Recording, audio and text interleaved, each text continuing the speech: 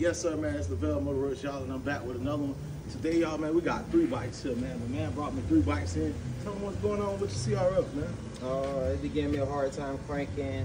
They be bogging out. I just wanted to bring it up here to get the, uh, you know, get it running right. Yes, sir. We're gonna get this man bike running right. He just kicked it almost 15 times just for me to test ride it. When he come pick it up, we're gonna be able to kick it one time and probably ride it home if he don't live too far. Bike, uh, Sure. it runs hot when it sit for a while.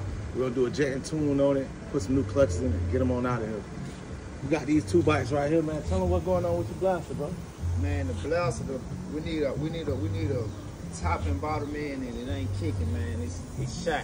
But tell them what you finna put on there to make it get on down the road.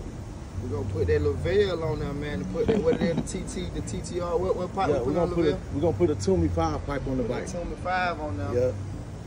And, and, and, and guess what? When y'all hear it's gonna sound like a little bumblebee when I'm done with it. This one right here just gonna get a simple rebuild.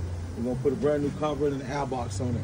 And when he done, he got his money right, so he gonna have his bike right. Each one of these will be able to ride home if he want to when I'm all finished up with it. Get your money right, get your bike right. yes, and we're back sir. with another one.